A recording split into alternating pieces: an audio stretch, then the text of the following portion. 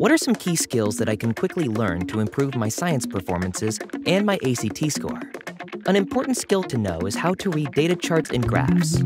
When you know how to do this, you'll immediately increase the likelihood of doing well in the science section of the ACT. Scientists often use a combination of prose and mathematics to communicate research findings. So, in addition to knowing some core scientific facts, it's important for scientists to be strong readers and writers. You can strengthen your science knowledge and skills by learning some science reading skills, particularly how to read data charts and graphs. First, it's important to recognize that different types of charts and graphs are used to share specific types of information.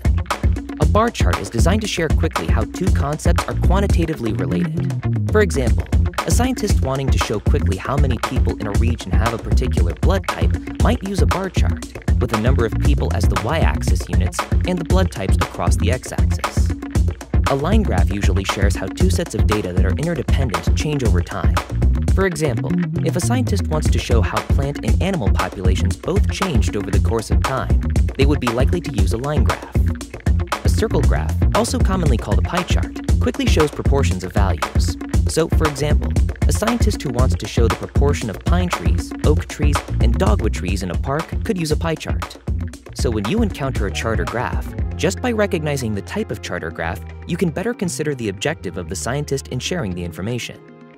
Second, recognize that scientists share information using charts and graphs to reinforce or share key ideas and details in a more compact way than prose will often allow. Look closely at the title of the chart or graph and any other labels of elements on the chart or graph. These elements often summarize the author's purpose in sharing the chart or graph.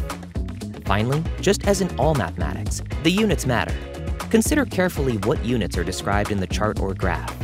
Common units for science charts include sizes, frequencies, and types.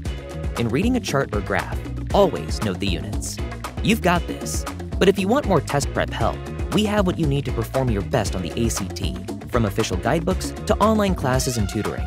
Visit act.org/prep to learn more.